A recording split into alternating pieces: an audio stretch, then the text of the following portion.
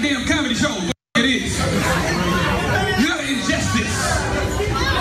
What's the problem? What's the problem? Huh? What's the problem?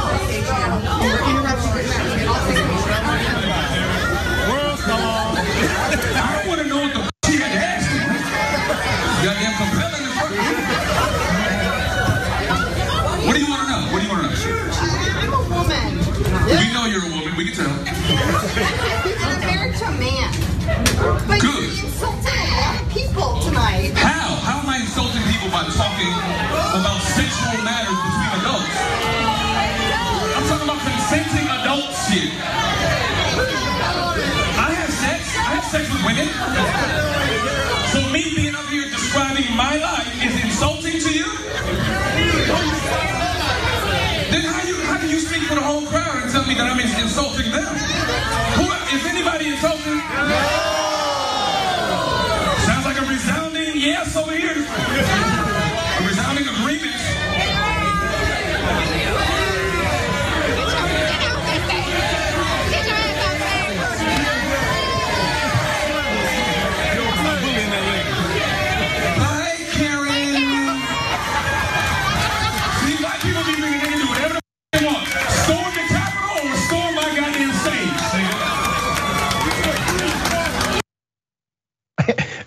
Okay, wait a minute. I gotta say this.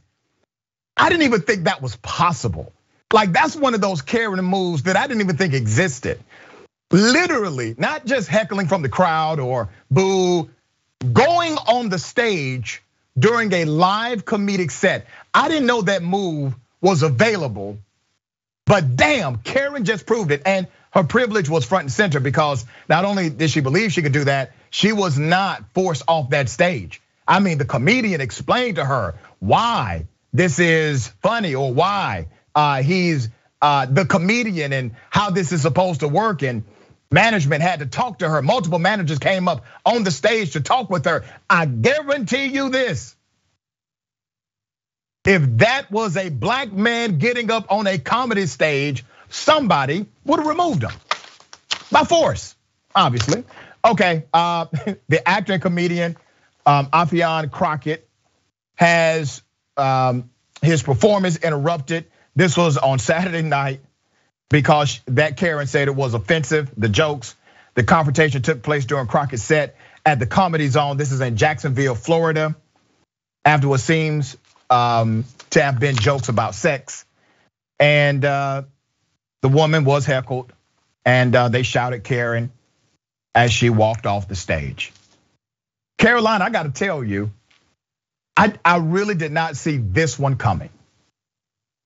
No, I mean, as you pointed out earlier, it's uh, that's going to a comedy show. Going to a comedy show, you are assuming the risk that you probably likely in most cases will be offended by something. And the good news is you can leave whenever you want. They're not forcing you in there. They are not um, detaining you in those spaces. But I think this example, as you mentioned, really does get to a troubling you know dynamic of of privilege on display here. And and i think like as a white woman i i feel comfortable saying this that starting off her starting off by saying and he you know rightfully sort of mocks her for it she starts off by saying i am a woman and you know he kind of everyone kind of laughs at this. But i do agree like as framing it as if you are making a um, a statement about your oppression or something as a woman is so disingenuous. This is not the social justice statement that you think uh, yeah. it's going to be, and rightfully the crowd is is is not buying it. And to just sort of literally take up space where a black man is doing his job to promote your you know viewpoint on something is so i mean it's so classic karen. It's this is exactly what we're talking about when we say that white women can sort of weaponize this behavior of some sort of um oppression when in reality as we can all see the optics of this are so bad. She's taking up space from someone who is doing his job. And again part of that job this is what you sign up for when you go to a comedy club. Um, you are, are always welcome to leave. And in fact as as we were sort of chatting about earlier who doesn't have very painful memories at comedy clubs of being you know feeling so awkward depending on who you're with? And yep. and those those stories are just as funny as as the other ones it's not the place to make a, a, a grand statement about your your thoughts and feelings yeah and there are appropriate ways obviously to protest and you know you mm-hmm. leave the mm-hmm. facility ask for a refund um, say hey you know that that was really offensive but just think about this. What does she expect to happen on that stage? Does she expect to take his microphone? I mean, let's say she's successful at getting all the way on the stage. What does she do? Take over the comedy set? Like what happens at that point? And I don't know if she planned it out or not, but damn, she got on that stage and she was allowed to stay on that stage longer than she should have should have been.